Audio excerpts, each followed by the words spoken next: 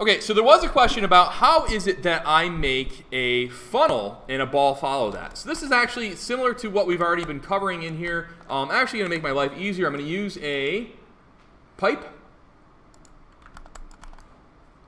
And I'm going to change my setting so now the thickness is maybe a 0.1. Okay.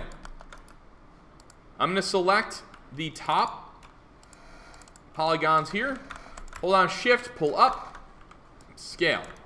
Hold on shift, pull up, and let's scale that out some more. Now, it is deforming these uh, in the sense that these are getting larger in scale. So we can just double click on this edge loop and then scale that up a little bit more so it feels like it's re remaining at that shape. Okay, so I have that going on. I'm going to just scale these out so it feels like it's, it's kind of bowing. There we go. So you have a funnel.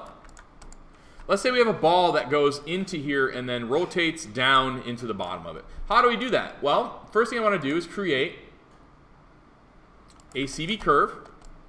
And it's not going to make a lot of sense when we draw it out at first.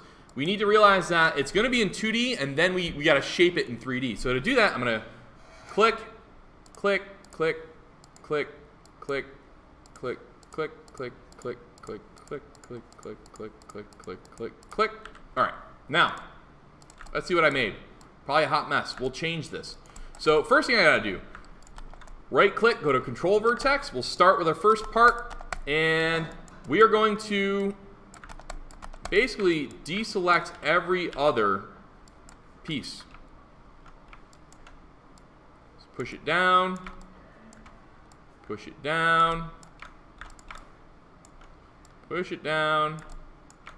And I, it's probably going to take a couple times of doing this, but you can kind of get the idea of what I'm, oh, that's why that's going a bit wonky. So I'm going to actually start the opposite way. I'm going to put it where I want it to be at the end, and then uh, start grabbing more of these.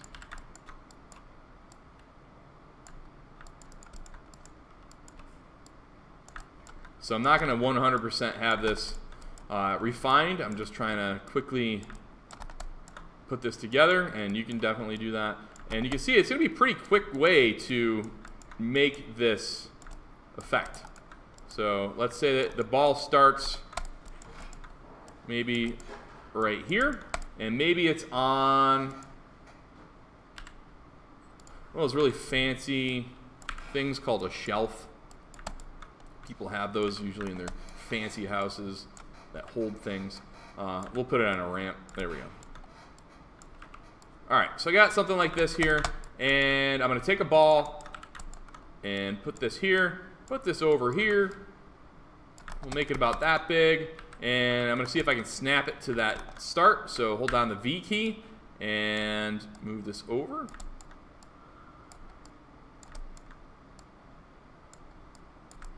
Okay, now I have the ball and this selected.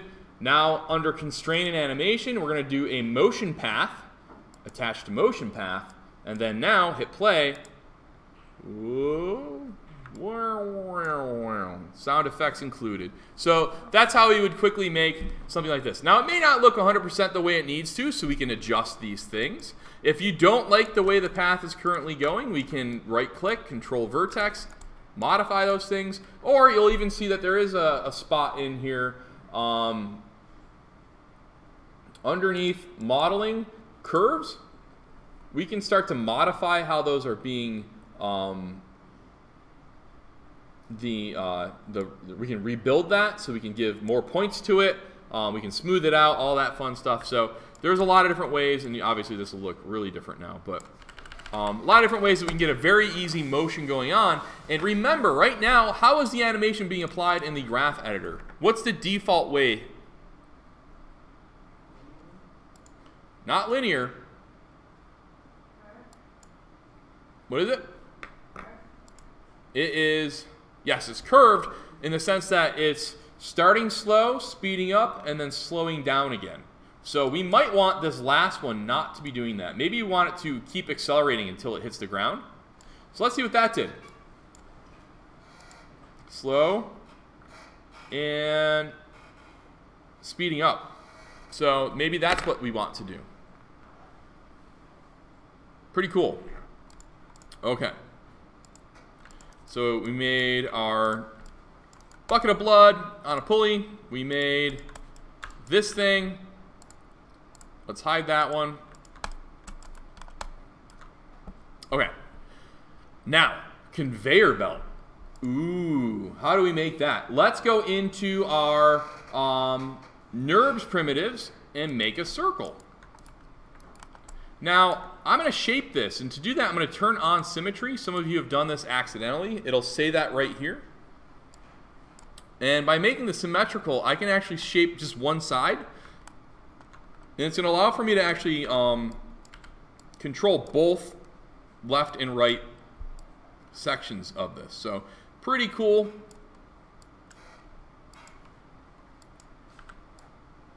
So I'm going to say maybe this is what I want. Let me just scale that part in a little bit more.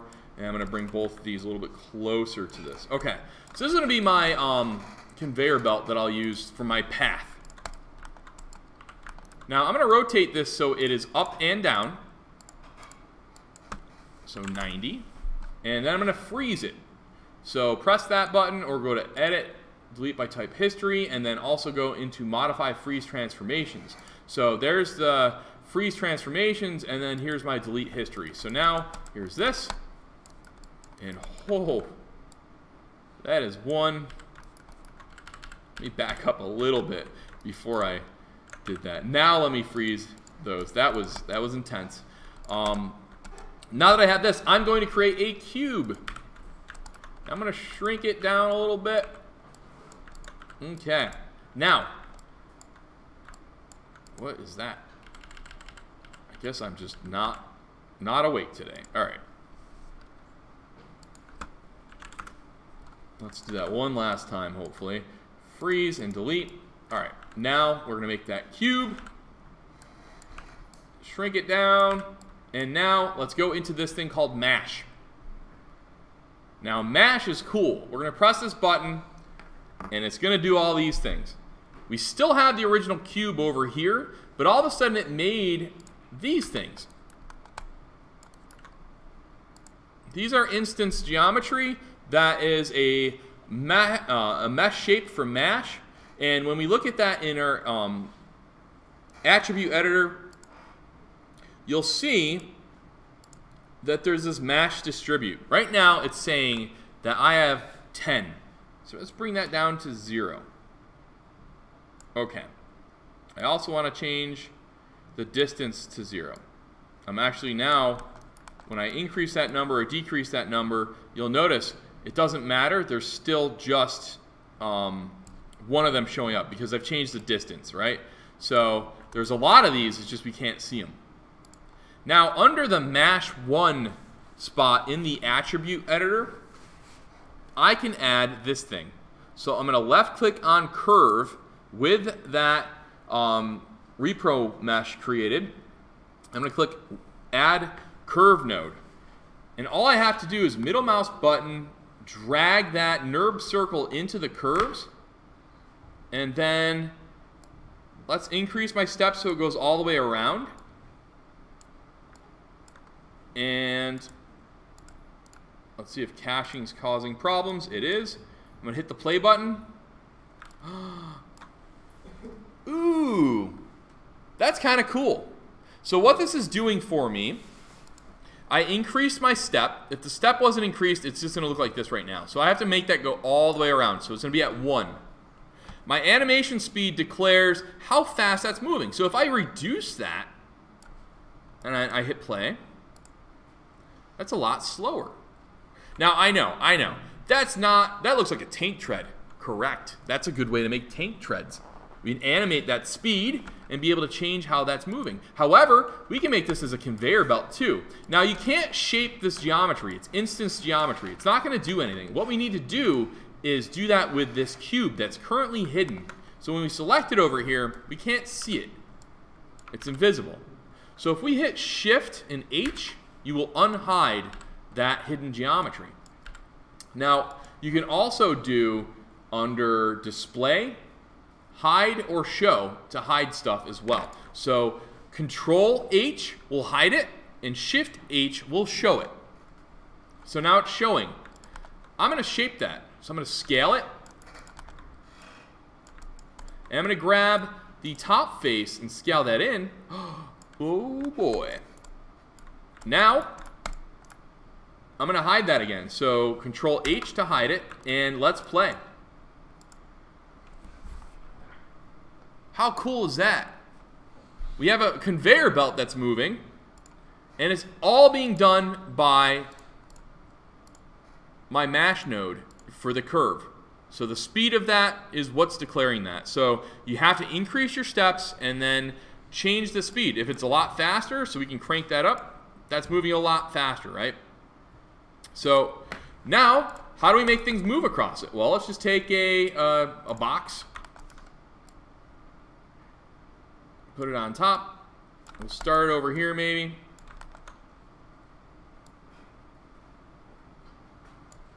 And set a keyframe. And then let's see how long it takes to get from this point over to that side. So we'll, we'll um, hit play. Okay, so it's maybe around frame 75 that that one piece is going over to there. So let's go and move this over to there and then hit the um, S key to set a keyframe. Oh, why did it do that? Has to do with what we talked about earlier with Mr. Graph Editor. How is it started? So if our if our um, conveyor belt is linear, it's a constant rate of motion. What's this doing? Starting off slow, and then speeding up and then slowing down. So let's change that. We're to go to Modify, and, or sorry, Windows, Animation Editors, Graph Editor. And what we're going to do in here is, let's grab those, make it linear. So we'll just press this button. Now let's let's roll that beautiful footage again. okay. So it looks like I'm a little bit off on my timing. So I'm going to cut that keyframe, and then let's say they go to 80. Now, still a little too slow.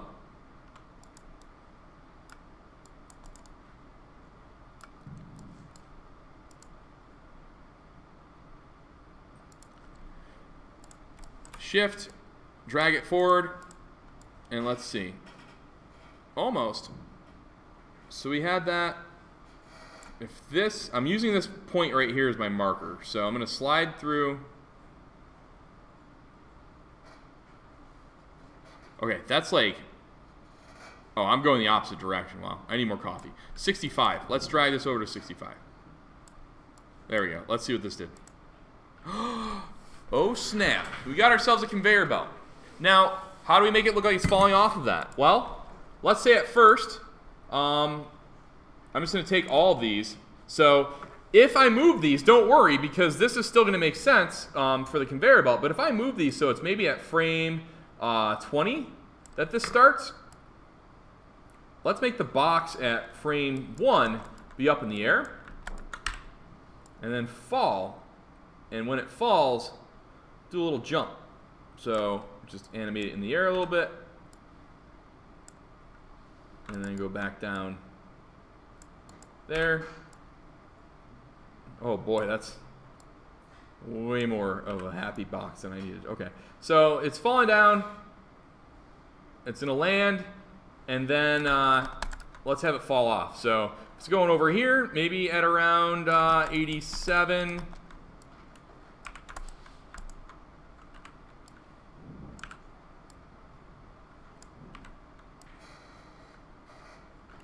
And it didn't set a keyframe. I'm going to turn on my auto key so that way I can uh, move this quicker. So maybe around here, there's that, so. And then maybe.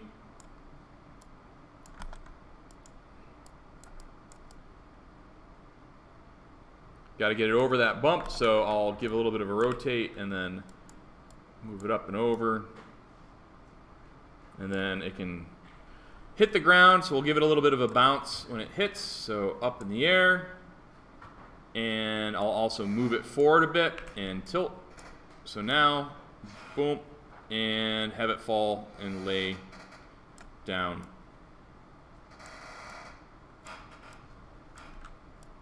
So we'll zero out our rotation on this and on this we'll do, let's say, actually let's do that and that and then give it a rotation here. So, all right, so let's say that that was the end of this. So now we have a box coming from the top, hitting play, boop, boop, and all right, that looks like garbage when it hits the ground, but you can see that this is uh, a pretty fast way. Now, it's going to take some practice, but look at this. I just made a whole part of a Rube Goldberg machine where maybe now when this thing does that, let's bring in this thing.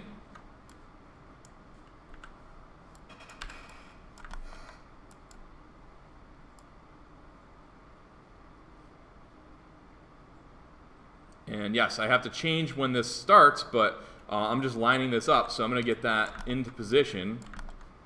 So maybe there's a shelf.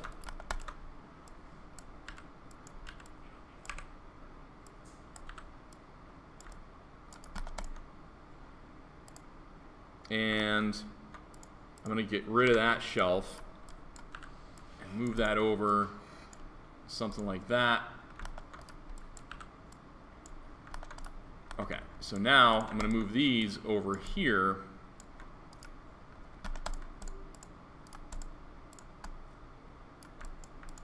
Control vertex, change that, and we'll change this so it's on here.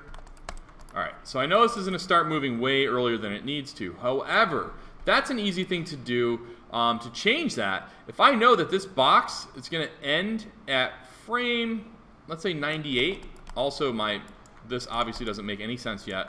Um, the ball should be much larger too. So um, let's just say at frame 98, that's when this um, funnel needs to take place for what it's doing. So uh, let me start, let me change my start position. So it's going to go over here.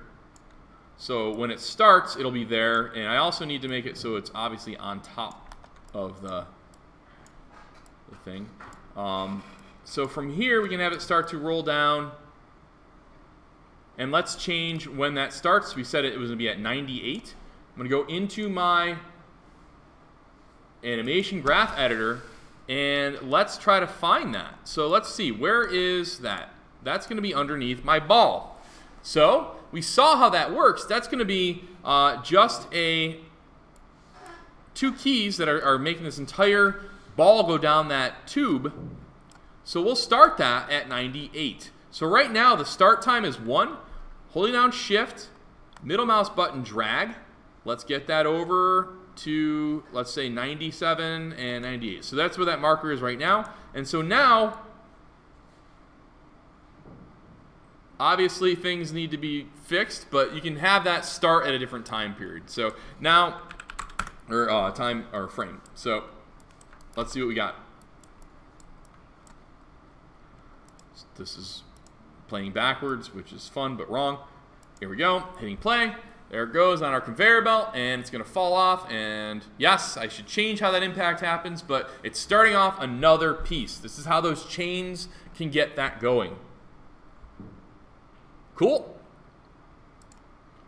If anyone else has other things you want to see, please tell me, write me an email, or ask, and we will continue to do these little mini demos.